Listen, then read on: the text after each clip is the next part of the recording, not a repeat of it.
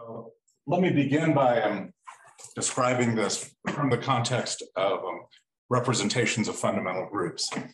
So in this talk, sigma will be an oriented surface of um, closed surface of genus greater than one.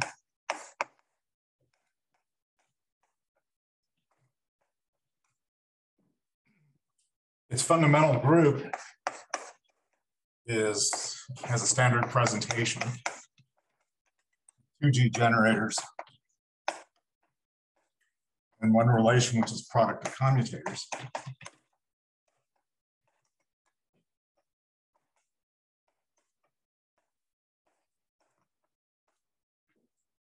And um, this is the topology side. The geometry side will be when, well, assume that G is a Lie group.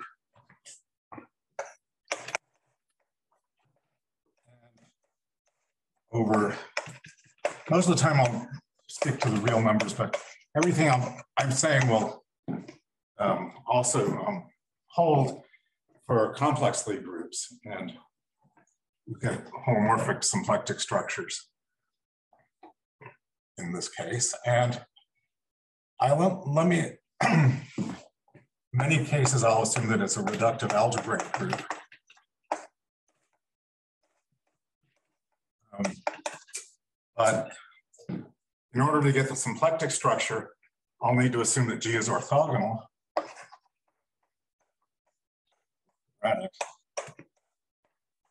Which means that the adjoint representation,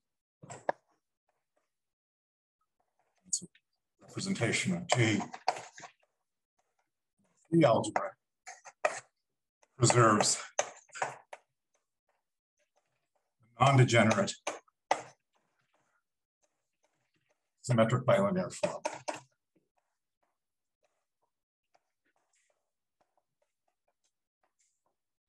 inner product.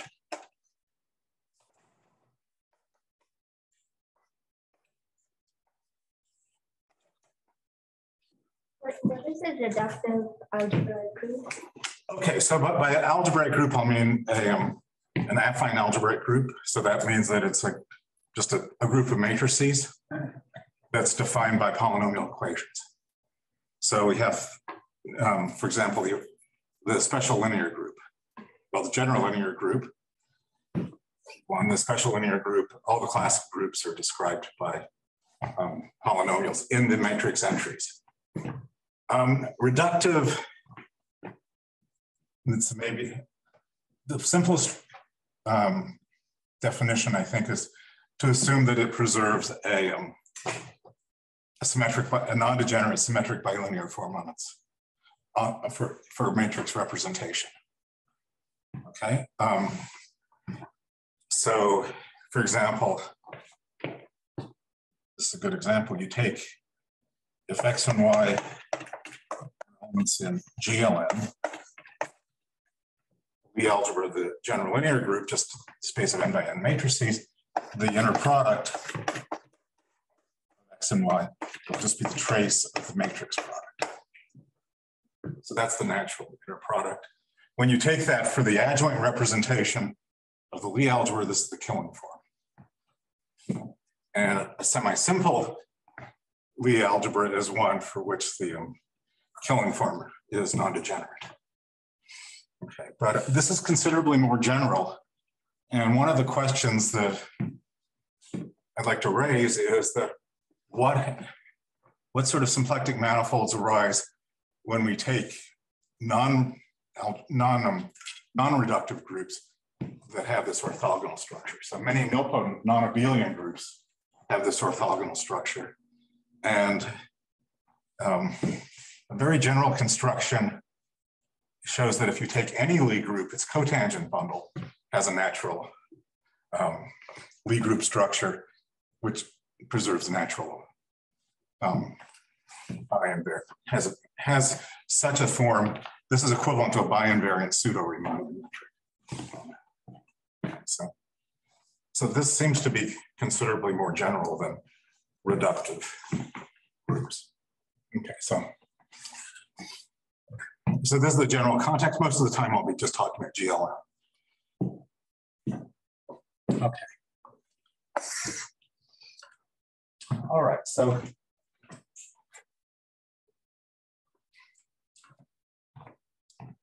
So I'm interested in set of homomorphisms from this discrete group into the Lie group. And this is going to have a natural structure. So first of all, let me observe formal properties that if we have a homomorphism from pi into G, then composition with an automorphism of pi and an automorphism of G gives a new homomorphism. So this has an aught pi G action. Particularly interested in structures that are preserved by that. So this is naturally maps into um, Cartesian product 2G copies, one for each generator, namely take a representation phi and associate it to images on the generators.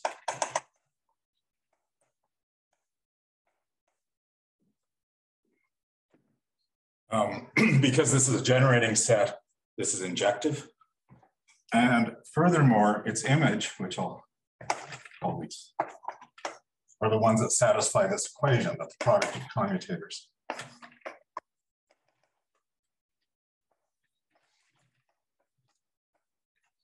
is equal to identity, the identity element of the group.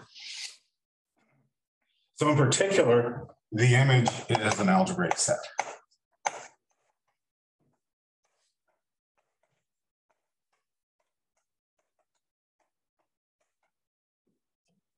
So remember, if G, let, let, me think, just stick to the case where G is a, an algebra, a linear algebraic group, in which case this is just a group, a bunch of matrices, and this is a, a matrix equation has to be satisfied. So these are all, and these are all polynomials in the matrix entries.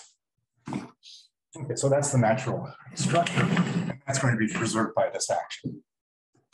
Um, most of the time, I'm, I'm going to quotient by a subset, namely the inner automorphisms of J. And the quotient, I'll just call hom pi G. And this was the space that I was discussing last semester in the character variety seminar as a space that parametrizes locally geometric structures on sigma. Okay.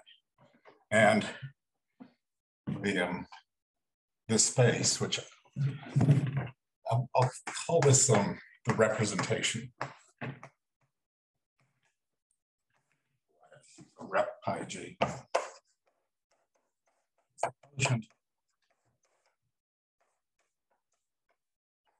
by the inner automorphisms. And this has an action. Is. The outer automorphism group, pi, defined as the quotient of automorphism group pi by normal subgroup of inner automorphisms. In the case of a closed surface, this identifies with the mapping class group.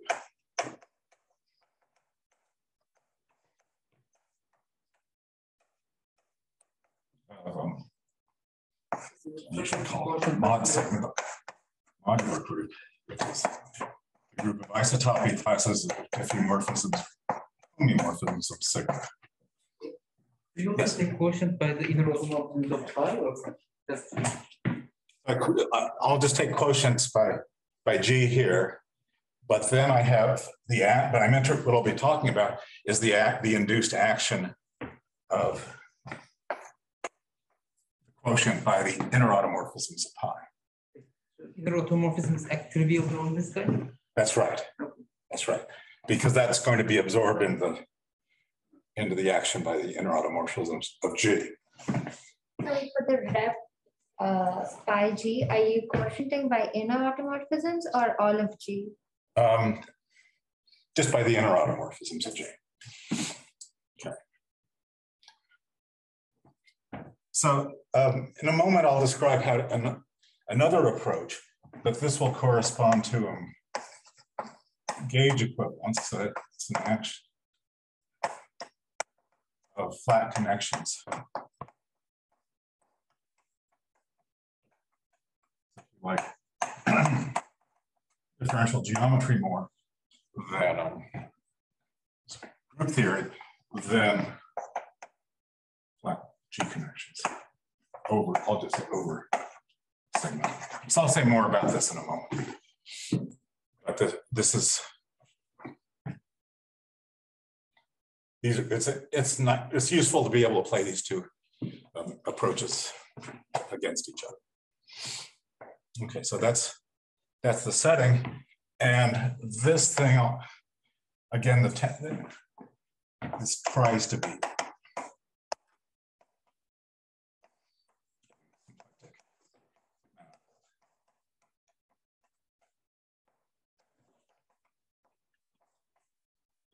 in general, there, there are a lot of pathologies that come up. Um, the HOM G is, is an algebraic set, but it might be singular. The action of G on it will be algebraic, but it might not be proper and free. The quotient, therefore, might not, even if you're quotienting just um, non-singular points, the smooth, the top stratum of, of um, smooth points, the quotient might not be smooth, it might be an orbifold, and worse than that, it might not be Hausdorff. So um, I'll say more about the singularities later, but in a very general sense, this is going to be a symplectic manifold, and the mapping class group X symplectically.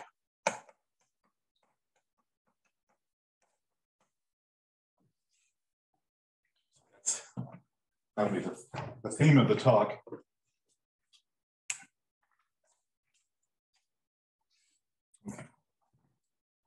So let me um, give the first example. So the first example is the manifolds are vector spaces, and the first example of one of these spaces will be a symplectic vector space. And that occurs when G is the um, additive group of real numbers. In that case, the character variety or representation space, first of all, it's HOM pi.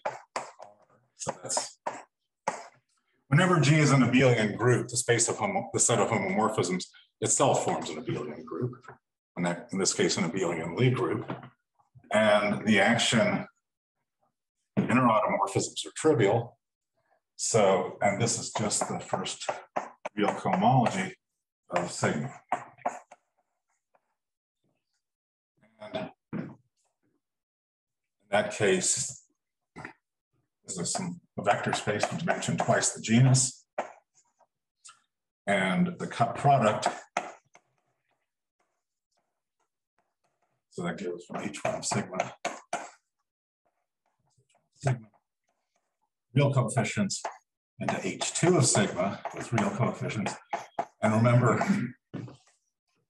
um, sigma is an oriented surface. So this is natural. You, the orientation defines an isomorphism with this, with the field of real numbers. Okay, so this is a symplectic vector space.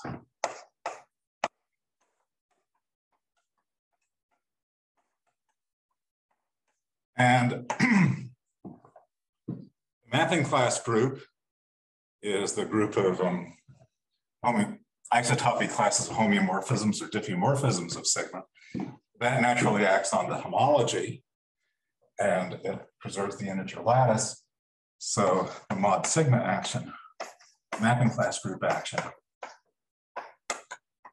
is just the standard action of the group, symplectic group, SP.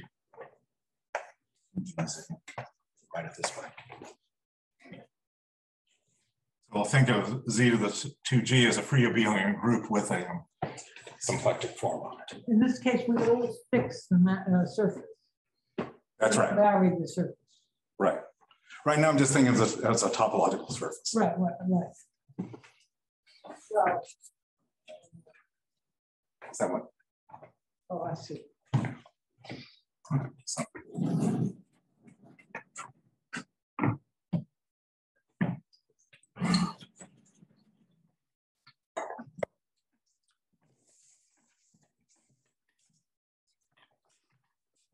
so- we are thinking about the geometry. Not yet. Not yet, okay. Okay. In fact, what I'm in- interested in doing is to make, put a conformal structure on sigma, making it into a Riemann surface, and then seeing how that's the symplectic structure um, relates to the um, complex structure. So Teichmüller space is going to be entering in in a crucial way.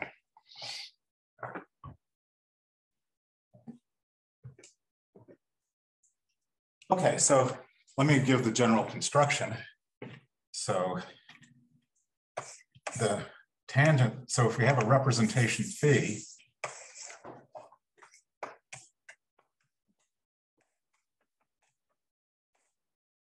then it's a point inside this algebraic set so that it has a Zariski tangent space. This is defined by a bunch of equations.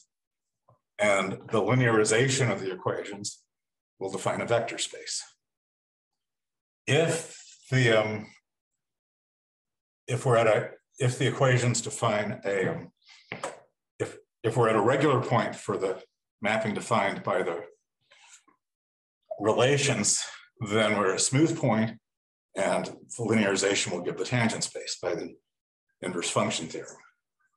But in general, we may pick up a lot more. And this is so the tangent space I'll describe as the Zariski tangent space, which in, in general will be much larger than the actual space that we're looking at.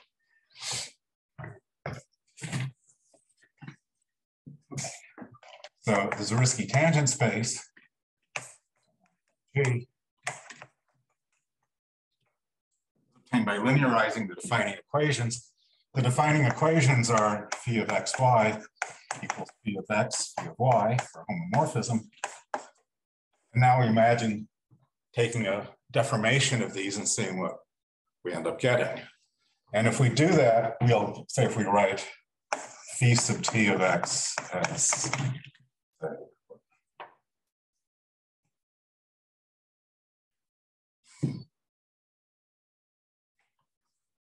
of x.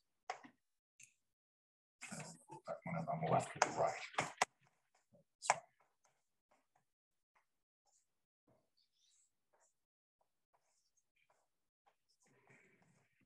So phi maps into G.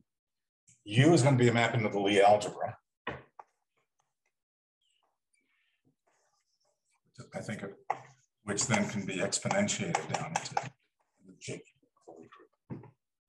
Okay, so I think that's what I want. And then this equation, this is a nice exercise, if you haven't done this, is that this equation linearizes to um, was a cocycle across homomorphism.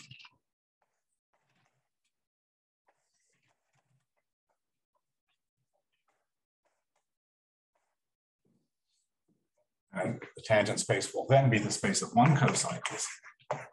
Group cohomology or Eilenberg-MacLane cohomology of pi and the corresponding module given by the, this representation. So pi maps into G the representation, and then G is acting on its Lie algebra by its adjoint representation. And this is exactly linearization. Right. okay. Now, remember, we're quotienting by inner automorphisms of G. And so, as you might expect, we'll start seeing some co-boundaries coming and tangent space at phi to the, to the orbit of the representation. So this is the conjugacy class of the representation.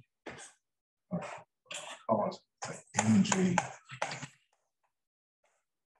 phi, this orbit, that's the space of one co-boundaries.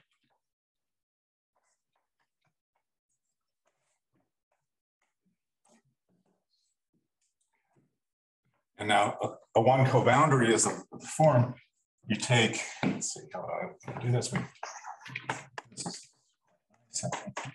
You imagine taking, conjugating by one parameter group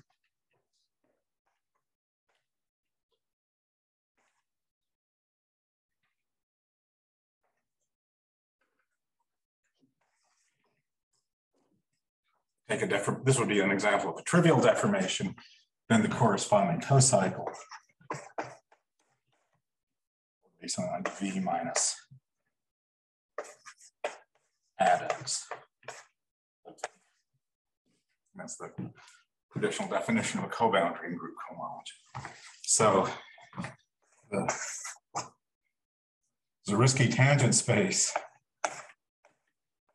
equivalence class of phi of which rep tries to be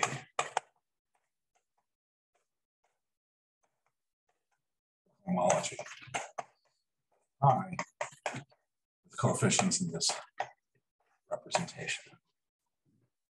Now it's not hard to interpret this in terms of cohomology surface. And I think I'd like to do that since it's geometric.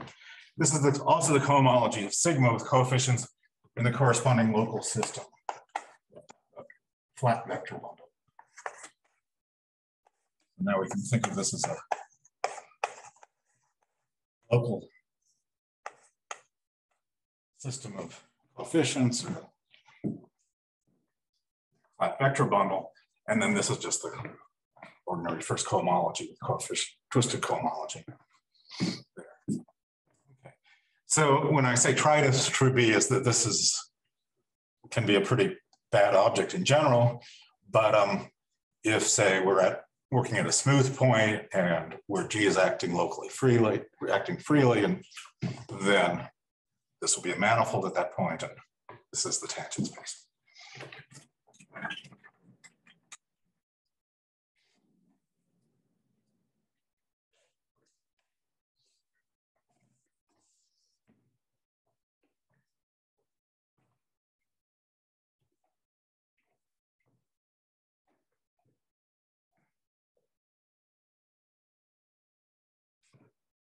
If you now look for one of the good points, you still get a map in one direction or the other. Uh, yeah, I mean, we're still, I'll be describing the tangent cone in a little, in a, in a moment soon. And in that case, um, you basically get that. But then even if you're at a smooth point and the action's not free, then it'll be you'll get a, the quotient will have an orbifold structure. It'll be more, more delicate, but you do, you will get a, a mapping. In any case, it, it, can be analyzed. It's just that it's more technical to describe. Okay, so that's setting. So now we want to define a symplectic structure. As so just as in the, the case of the when G is the real numbers, we'll use cohomology, but now it's more sophisticated cohomology. We have H1 of signal coefficients in this local system. Tangent space, so we need two copies of this to pair linearly.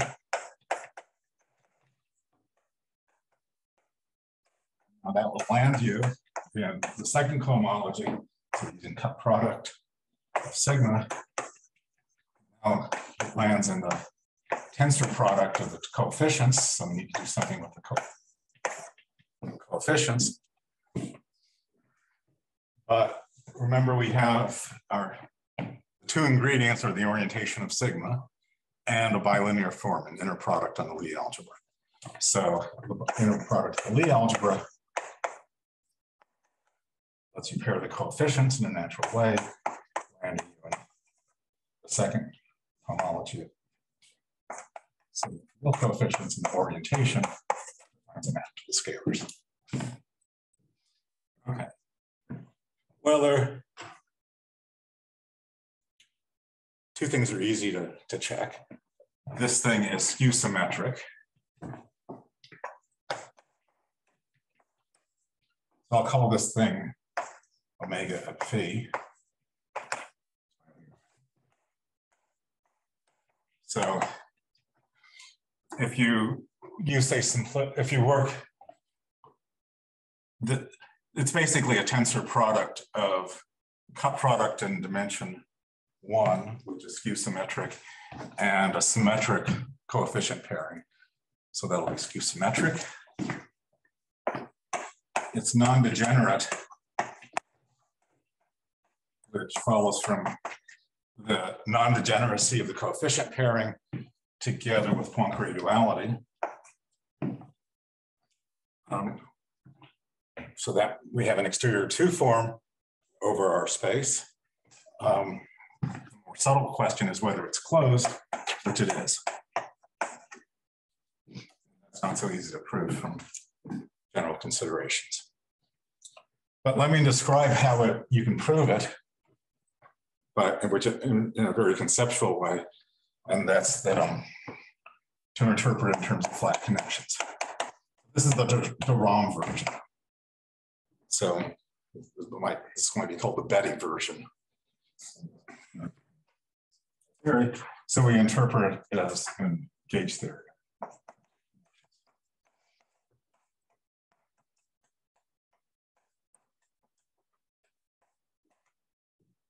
Okay, so Something about. Yes. uh, For instance, if I have an embedding of two Lie groups, right, uh, and two, you know, two inner products somehow that are, you know, equivariant, will I get a symplectic embedding of the corresponding? yes. I think so. I haven't, but I'm pretty sure it will.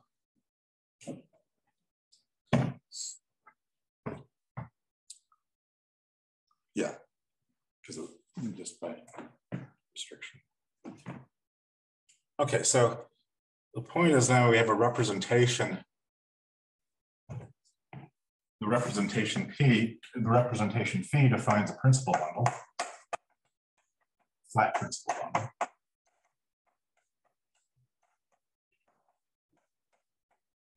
The total space off a piece of phi, and that's obtained as follows. You take the universal covering surface, sigma, take the trivial bundle, principal G bundle, and then quotient by the action of the fundamental group. So by that, I the action is given as follows: that if we have an element gamma and pi, a deck transformation of sigma tilde, then that will act as follows. It takes a point x tilde, comma, g, and we apply the deck transformation over the base, and then multiply on the left by phi of gamma. So that's a nice proper action because it covers the proper action of um, pi on its sigma tilde deck transformations. And that's going to be the total space, then the projection onto quotient given by the first, it's just the fiber bundle. Okay.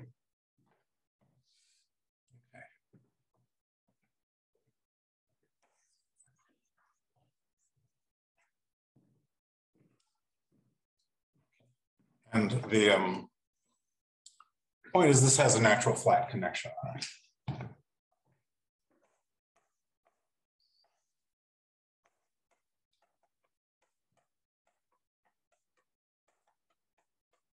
I guess I'll call that zero.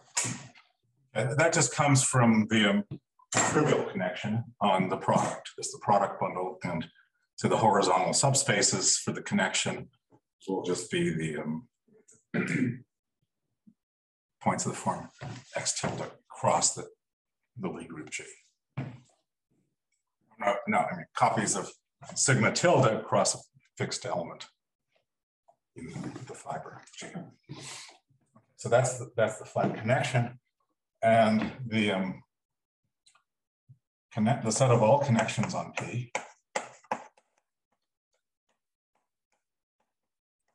I'll call that A of P. This is a, um, an affine space. Two different connections differ by affine space whose underlying vector space of translations coarser for the vector space of one forms on sigma, coefficients in the local system defined by, it's actually the same local system I was describing before, but I'm calling it ad P. This is, in terms of the principal bundle, this is the associated bundle, P, the fiber product of P cross G. G is acting by the adjoint representation.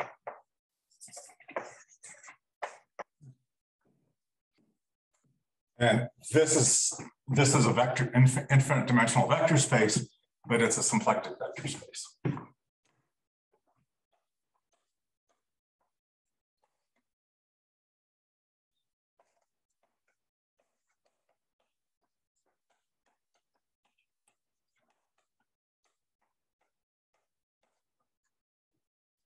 Namely, if we have two one forms taking values in this vector bundle, then we can take their exterior product, their wedge product, and then use the bilinear form B to pair the coefficients.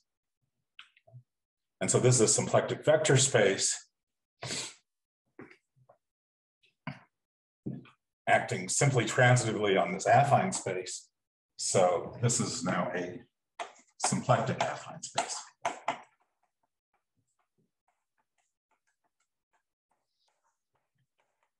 In particular, the symplectic, the exterior form that's defined this way will be closed.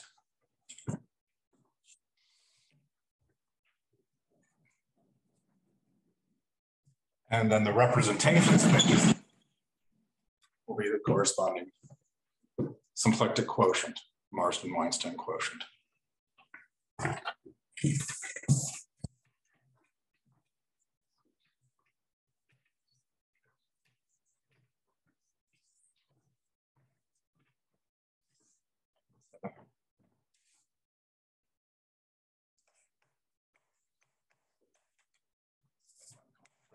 G, G mod G is the symplectic quotient.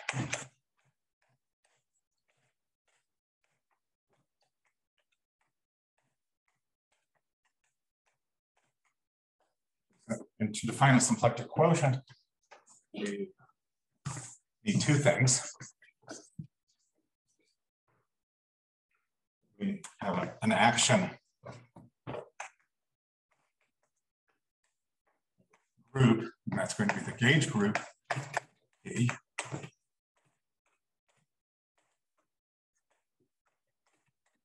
We have mappings of principal bundle P, and then automorphisms to covering the identity. That's that will preserve the parallel symplectic structure on the affine space. And it's a Hamiltonian action that's going to have a collective Hamiltonian, which is going to be a moment. So the, um, the gauge group is the group of sections of the ad, adjoint bundle. So that, in other words, at each point over sigma, we have a um, automorphism given by an automorphism of G, conjugation by G. And so we have a section of those. So the Lie algebra gauge group sections of the corresponding Lie algebra bundle. In other words, zero forms, sigma with coefficients in um,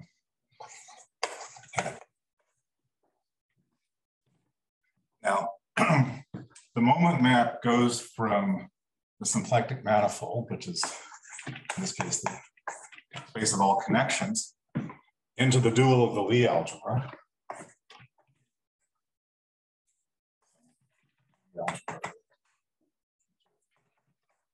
Dual. In that case, the dual to the Lie algebra will just be the space of two forms. And by contrary duality. Now, now on the different level of differential forms. And the, um, as you might guess, you take an arbitrary connection, which I'll write as the base connection plus a tensor, A. That will go into the curvature.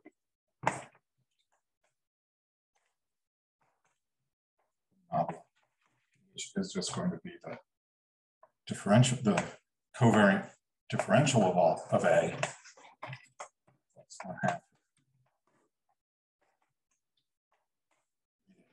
Exterior bracket. Okay, these are values, takes values here. So, so this is um, the um, the curvature. This will be equivariant with respect to the natural action of the gauge group. And take the level set of this. Flat connections. Quotient by the gauge group, and that will inherit a symplectic structure. So this um, construction is um, due to, originally this was first written down, not in terms of symplectic quotient, but the form for the, um, the form for the um, symplectic product by Narasimhan, 1970, I think. And then interpreted as a moment map by Atiyah and. 80. Famous paper on the Yang-Mills equations on Riemann surfaces. And so this gives an interpretation in terms of um, gauge theory and in particular gives a nice proof that the form is closed.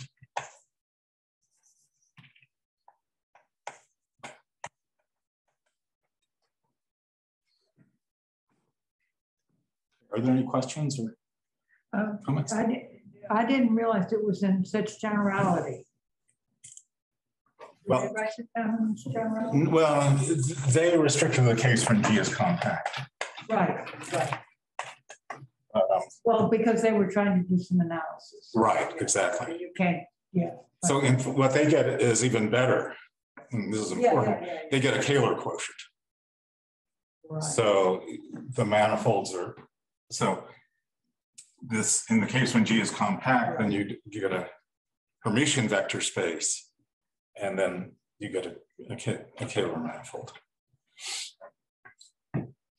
Um, but for this symplectic discussion, you don't need G to be compact, just to be orthogonal. So The the choice of it didn't matter, Excuse me? the choice of the inner product. Um, well, in the case of a compact group, uh, in the case of a compact group, it doesn't, there's, or, a or a reductive group, it, it doesn't really matter. There, there's really only one on each simple factor. If you have a simple Lie group, there's one up to scaling. Um,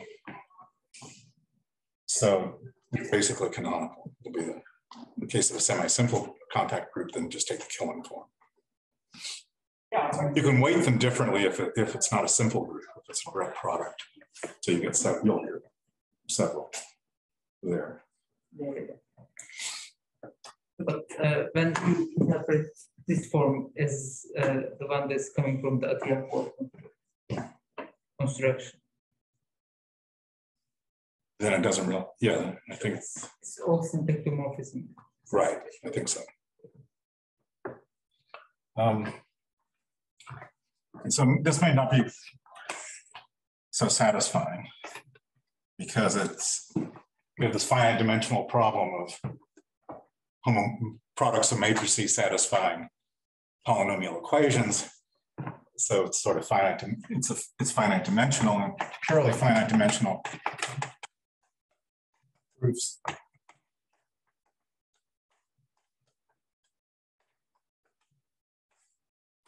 Were, first one was done by Yael Karshon.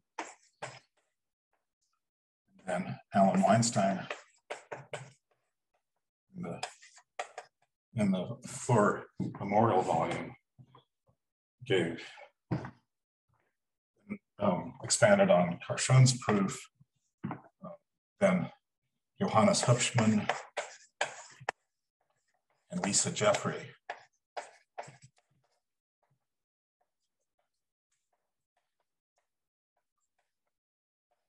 Found finite dimensional proofs that the form is closed.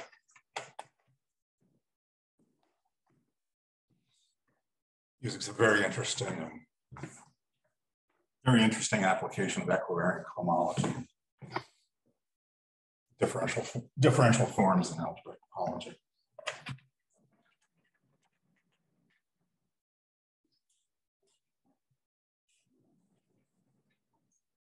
Itself is maybe more complicated, in itself maybe more complicated than the infinite dimensions.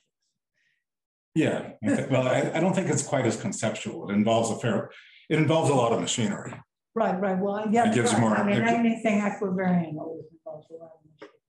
Yeah, th- well, it- yeah, it ye- yields new results too, because it it it has applications for finding higher dimensional cohomology classes and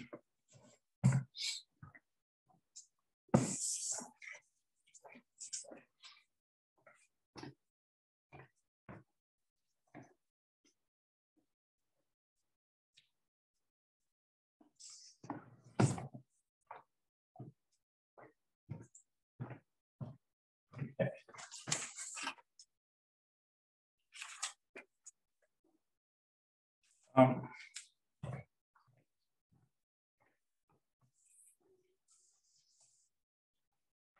Maybe I'll put off the discussion of the other compact groups for a moment, just to mention another case, in fact, the case that got me interested in this. And that's when G is non-compact, G is PSL2R. What I was describing in some of the lectures in the fall. In that case, this is the group of isomet orientation preserving isometries of the hyperbolic plane. And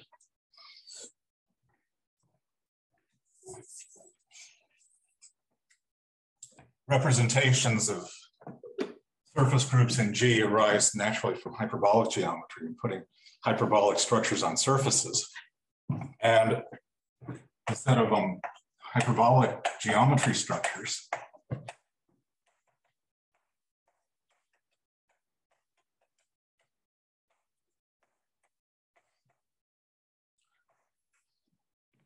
Naturally embeds inside the representation space. It's a component.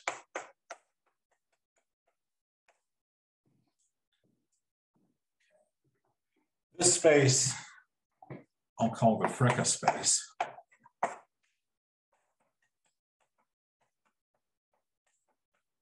It's naturally isomorphic to the Teichmüller space.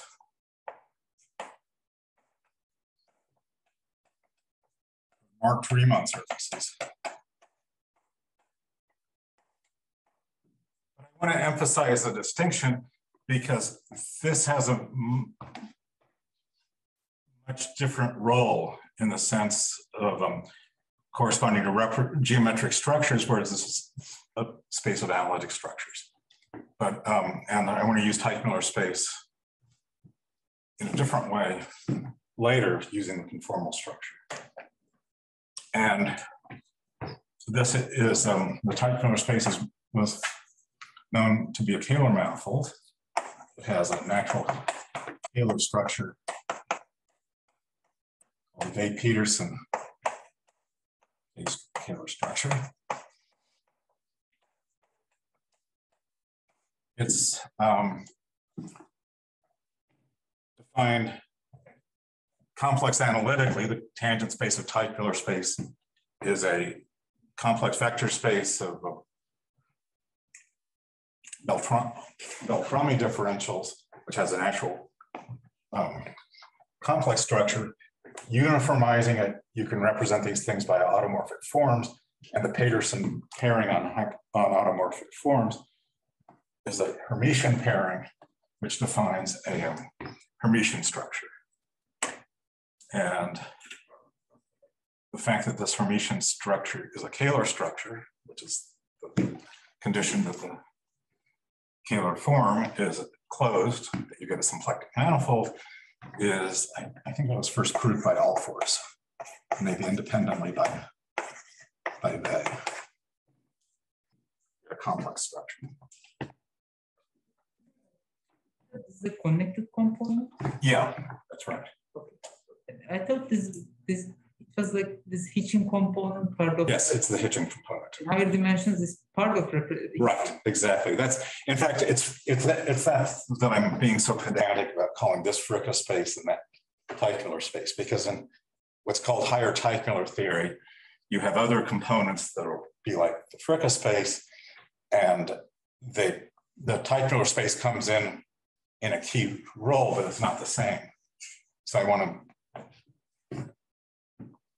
separate them too. And then I mean, the uniformization theorem is a wonderful fact. It's so wonderful that you're tempted to use it all the time. And so hyperbolic geometry is sometimes called Teichmüller theory, and I don't think Teichmüller ever studied hyperbolic geometry. But many theorems about Teichmüller space have been proved using hyperbolic geometry via the uniformization theorem. And in fact, in Hitchin's original paper, he shows that the um, uniformization theorem follows from one of the main theorems and that he, he proves in setting up, you know, Higgs bundles and the self-duality equations.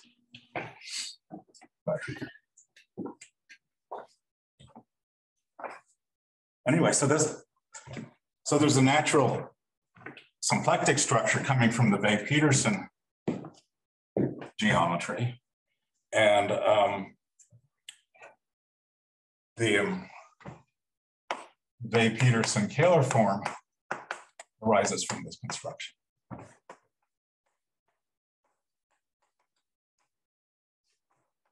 For the interpretation of the representation. So this is only one connected component. So the other components provide interesting examples of symplectic manifolds, which I don't think really have been studied too much. Not too much is known about. it. It's rather interesting to note that this is actually, that this, this Kähler theory is um, invariant of the mapping class. group.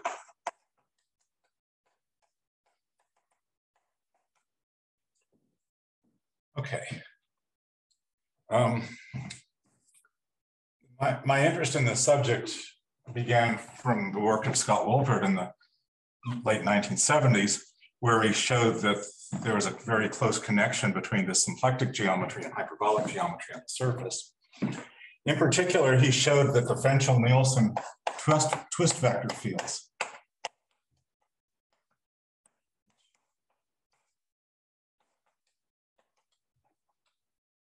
are Hamiltonian. Hamiltonian flows for the geodesic length functions.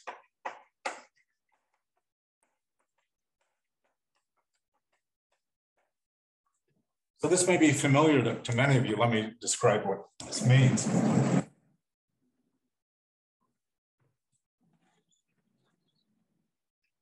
Um, hyperbolic geometry on surfaces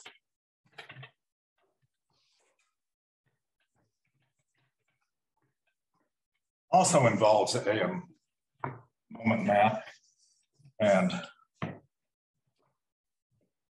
completely integrable system. Namely, you start with a decomposition of your surface into a three-hole sphere, in other words, pairs of pants.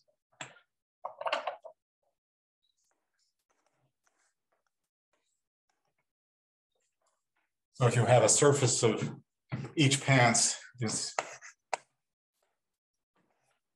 Euler characteristic, characteristic minus one.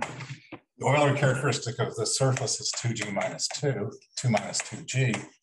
So that means that if we have pants decomposition, there are going to be two G minus two pants. Now, each three-hole sphere has three boundary components, and each boundary component abuts two pants. So the number of curves is three halves, g minus two, three g minus three, I'll just call n.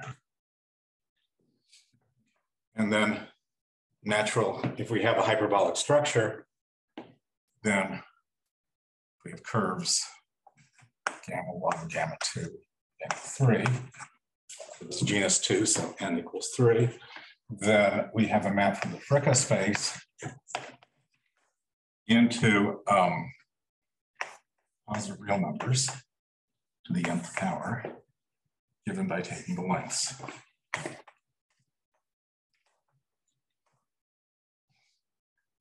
So each one of these curves can be represented by a simple closed geodesic. And we take the lengths of those geodesics and that gives a map into here. So we then cut the surface up along these pants and we have a bunch of um, three-hole spheres with geodesic boundary. If two of them are to be identified, they have the same length. But then there are many ways of reassembling them. And the way that you reassemble them is by a Fenchel-Nielsen twist later Thurston called these things earthquakes. And these, these are deformations where you just rotate one side relative to the other. And this describes an RN action, and it'll be a Hamiltonian RN action.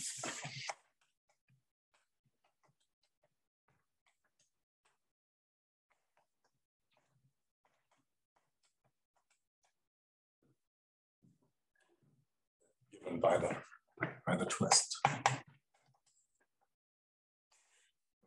just to repeat, we, we have two, two of these three hole spheres. We basically rotate one relative to the other. The deformation will be trivial on each one, but then on the union will generally be non-trivial or will be non-trivial. Okay, and so this again is, a, is an example of a moment map for a integral system. And now if we take a section of this map,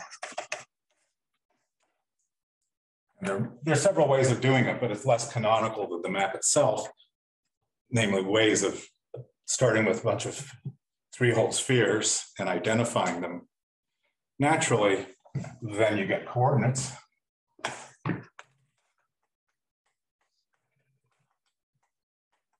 from the hyperbolic geometry, which used by Fenchel and Nielsen.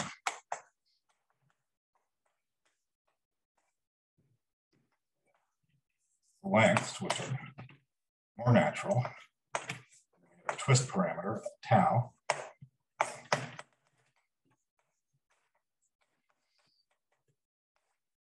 Coordinates, and Wolpert proved, what's called his magic formula, these Fenchel-Nielsen coordinates or dot or, or root coordinates for the symplectic form. Namely, the symplectic form is a sum of the li which d tau i.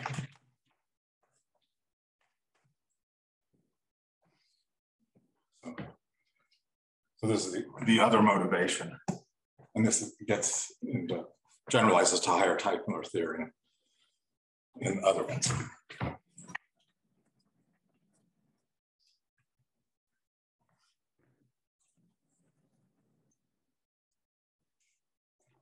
How is this a section? So I missed that. Well, um, see, do I, maybe I, I want to think of the, I mean, the question is, where do you set tau equals zero?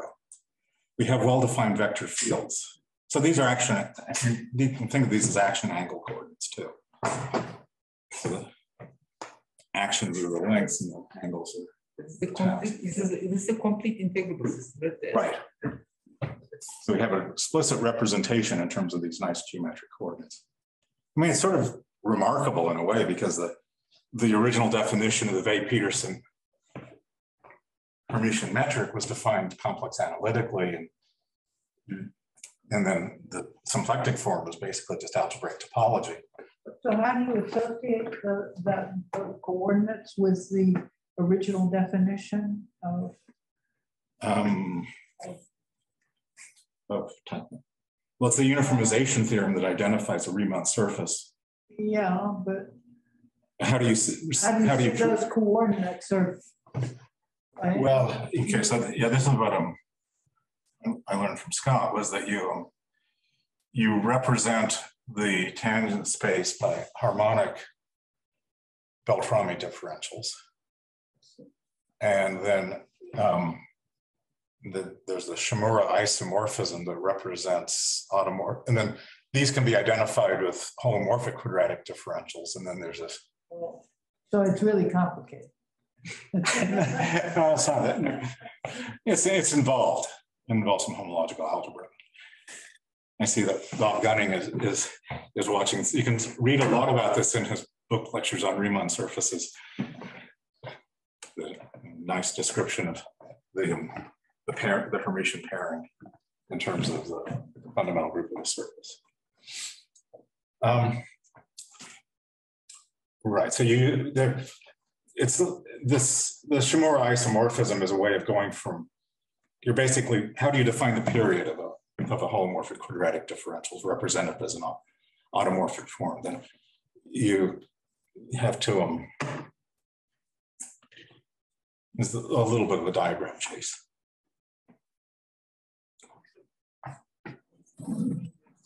But how do you show, maybe that's what, what she was asking, how do you show this twist actually corresponds to Hamiltonian flows of the lengths? Oh, okay.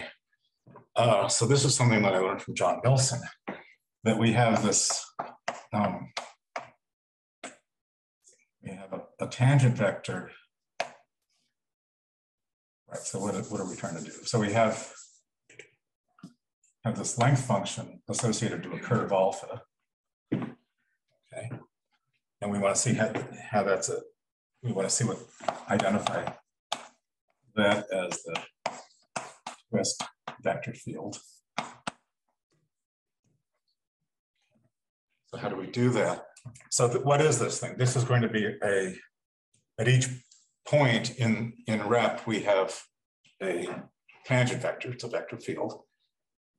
And so what is the vector? The vector field is going to correspond to an element homology.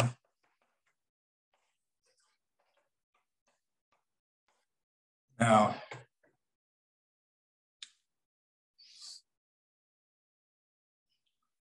we Poincare, we have Poincare duality because the coefficient system is orthogonal using B to identify this with the dual to H1. Just like no coefficients here. And then the right model for this will be maybe some sort of, let's say, simplicial cohomology with respect to a triangulation of sigma.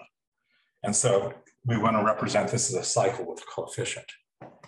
And by going, going through the isomorphisms like the Poincare duality and the definition of the length function, the differential of the length function, then this can be represented as a take simple closed curve alpha, and then represent this as a um, cycle with a coefficient.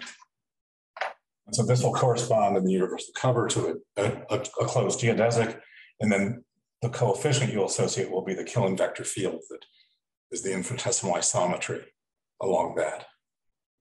Okay, so once you identify the Hamiltonian vector field with the value of the Hamiltonian vector field at a given point with this homology class, then observing on how that relates to the cohomology and the infinitesimal deformations, you see that it's given by a by the twist vector field. I mean, this is it's certainly believable because any this cycle is going to be supported on just that curve. So the way the um, representation of the fundamental group will vary, will be constant along any curve that's disjoint from it.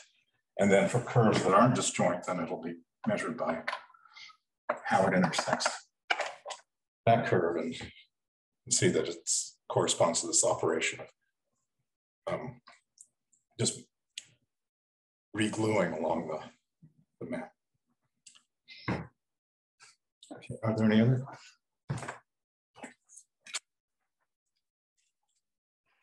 Uh, I think I running out of time, so I close with some open questions that I wanted to get to about this. Um,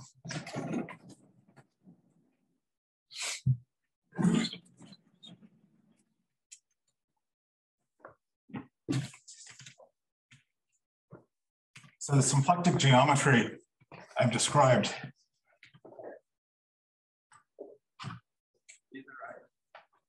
one motivation was through hyperbolic geometry and Teichmüller theory. Um, the other was through gauge theory. Um, I described the case when G is the additive group of real numbers, but closely related is when G is the circle, the unitary group.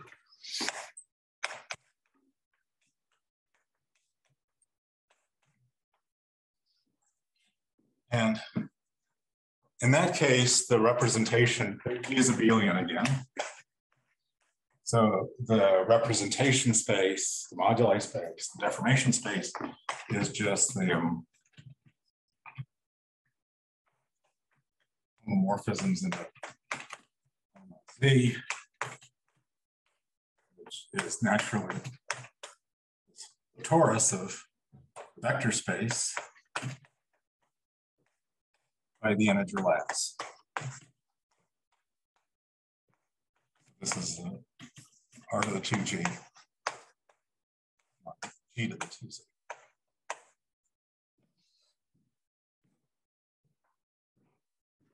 When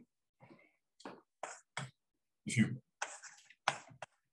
let's take a point in Teichmüller space, that is a marked Riemann surface.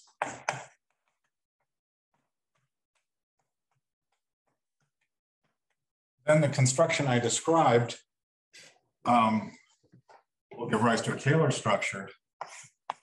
And this represents as the Jacobi variety, of the Riemann surface. So this parameterizes the um, topologically trivial holomorphic line bundles over the Riemann surface X. But the underlying symplectic structure is the same. This is just given by the, this is going to be given by a parallel constant symplectic structure.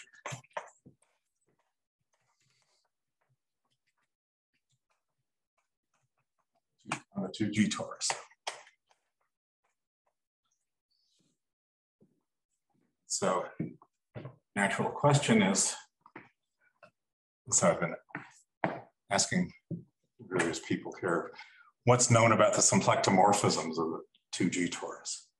And in particular, we have the linear ones, the ones that are mapping class group. How does this group sit inside the symplectomorphisms?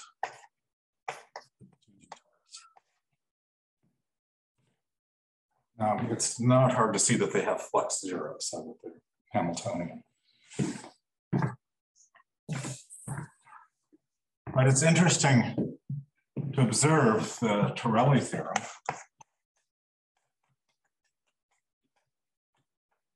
That can be stated as saying that the um, Kähler structure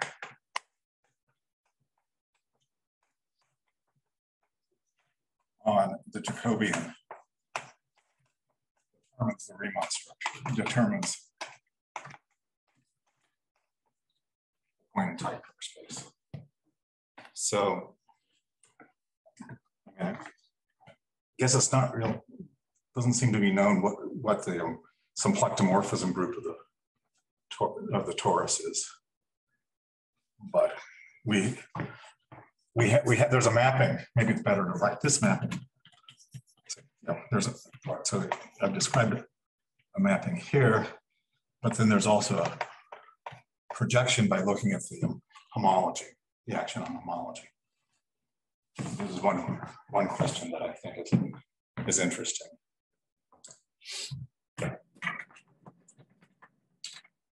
Let me close with a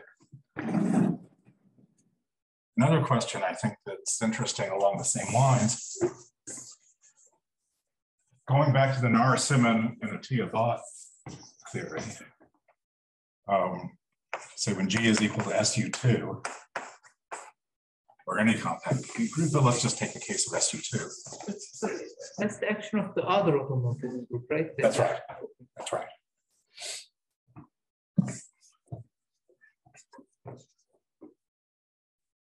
There is a, You see, so there'll be the, um, well, right, the, uh, the, that's for for the torus, but then the, then there will be elements that act trivially on, on homology, so presumably they're going to be not outside this. So I think that- to that, whether that's a homotopy, that seems unlikely to be a homotopy equivalence. But I really don't know anything.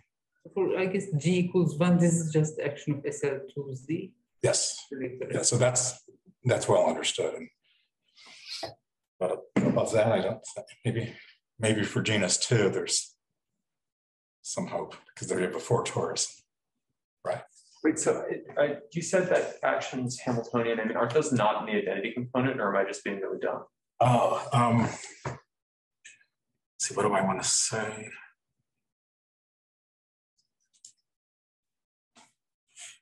You can also address this after the. Yeah, let me address it afterwards. Yeah, there's, right, that's a good point, but I. Maybe, maybe I was thinking that modulo. Yeah, let's. I think, convince, right, okay, let's talk about it. Yeah, I don't want to interrupt. Right. Okay, so, so when G is SU two, and in general, the generalization of the Jacobian representation space is the, um, identifies with the space of moduli space of semi-stable holomorphic bundles. Semi-stable rank two. Holomorphic vector bundles.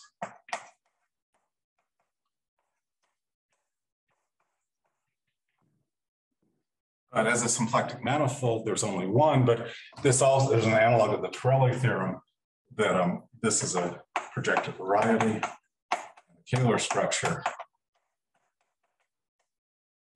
determines the Riemann surface X.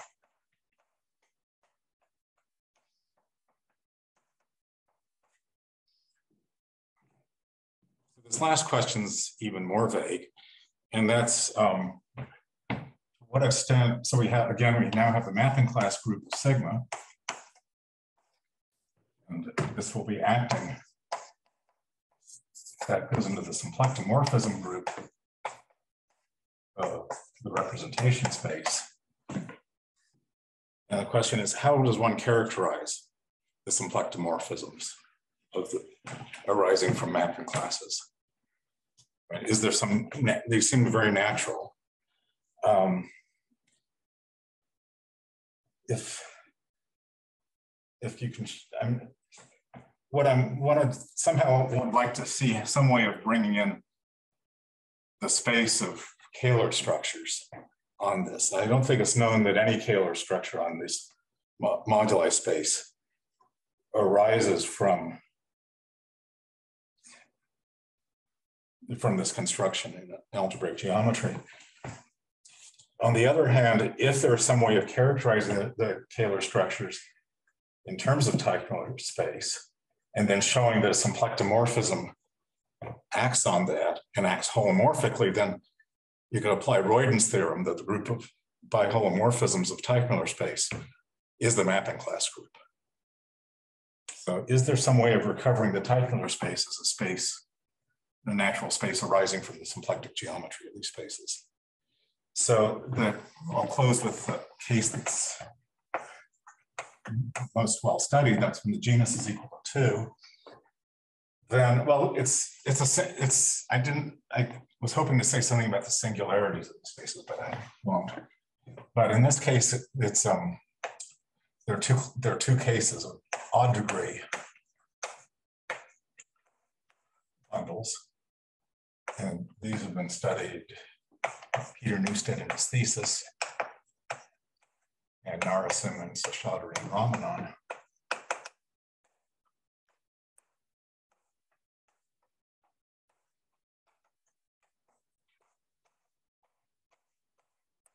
Early sixties. In that case, you get a very, what I think is a very interesting symplectic six manifold, which is simply connected.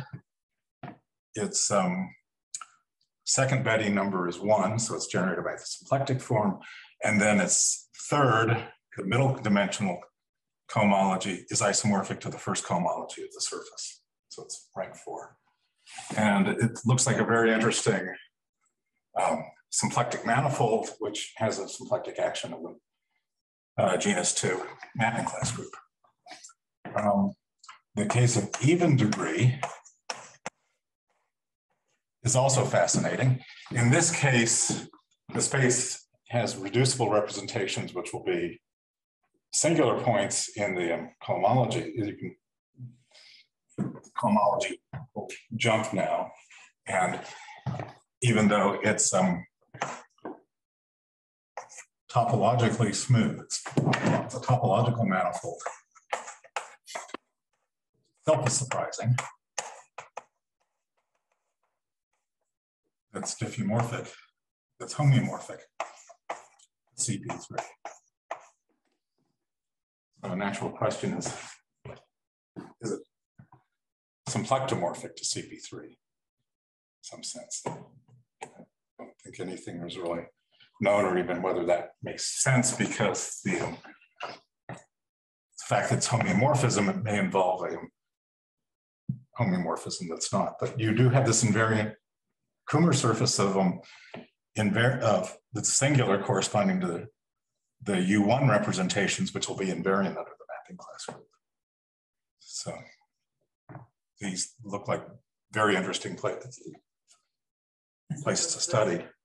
Homeomorphic to CP3 is the whole representation space. Yeah, well, I was a little bit sloppy here. So the, these are the only ones that correspond to representations, but these correspond to what you might call twisted representations, where the product of the commutators is not the identity, but minus the identity. So SU2 has center, consisting of plus or minus one, and the odd degree holomorphic bundles correspond to the to these twisted. So these are central extensions of the group, if you want. The every, everything I've said will go through for these to get a symplectic action. These have been well studied as far as the algebraic geometry. Looks like a promising area to, to study. So thank you very much.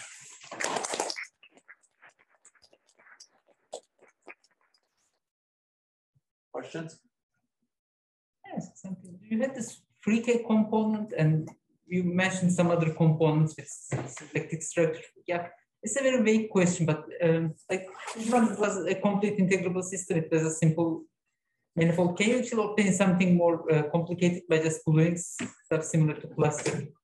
Well, let's see. So this is for what for what Lie group? Uh, for whichever, uh, like for uh, for equals, uh, yeah, PSL two is good. Well, for PSL2R, the other components are not contractible. So you won't get the same kind of completely integrable systems. And, and it follows from Hitchin's self-duality equations paper that these things are isomorphic, that these are homomorphic to, to bundles over, um, let's see, they're, they're vector holomorphic, total spaces of holomorphic vector bundles over a symmetric product of the curve of the Riemann surface. So that's very interesting topology. Um, And, and the conjecture is that the action is ergodic on these other components, and that's been proved in, for genus two, for PSL2R. It's actually not quite ergodic, but it's for the, the Euler class zero component. For SL3R, then you've got the Hitchin component, which corresponds to convex real projective structures on the surface. And that's the first model example of a higher type Teichmüller space, and the action is proper on that. But then there's another component which is not, which, well, there are two other components, one which has odd um, in characteristic class, which will of course be like the odd degree one here. But, um, and, and then there's another one that has, that's not detected by characteristic class that contains the trivial representation. And, and that, I, I'm not, I think that's probably, and that may be known, but it's, it's singular. So the question about what its cohomology is, maybe a little bit. But the other components are not complete integrable systems. Right. The, that's just in the case for the Hitchin component, for the convex real projective structures. Um, I know a lot of people that have been working on this and you don't get an analog, you have, are various attempts to get analogs of Fenchel-Nielsen coordinates. It's a sort of basic structure falls apart, so. You, it's still contractible. And I, I, I found coordinates that show you that you get the, the, um, that the space, that that component is, is a cell. But it used sort of internal parameters that were not, that were not depending on a pair of pants. So if you have, in this case, once you fix the conjugates and class of the representations on the boundary, there's still more parameters. And that's an interesting question about how to represent that. Um, the, I think the nicest and most conceptual way is this work of Fock and Goncharov, where they um, use some sort of triple ratios invariants for SL3R that are that give rise to sort of the internal parameters once you fix the boundary structures. But this doesn't happen for SL2, which is one reason that everything works out so nicely. So, you know, an interesting question about finding good coordinates. And the, and the coordinates of Fock and Goncharov, I think are it's sort of a, they're sort of, they're sort of a tor, it's sort of a toric structure. And this is, and these, they'll seem to come up a lot. And this other work I was describing of, if you do the, what I was talking about for SU2 and try to get there where, where the topology is known to be complicated, then uh, Lisa Jeffrey and Jonathan have defined sort of a toric structure on, the on open, open subset. But you can't have too nice a structure because of the singularities and the, the fact that the twist vector fields are will, will vanish at certain points. So.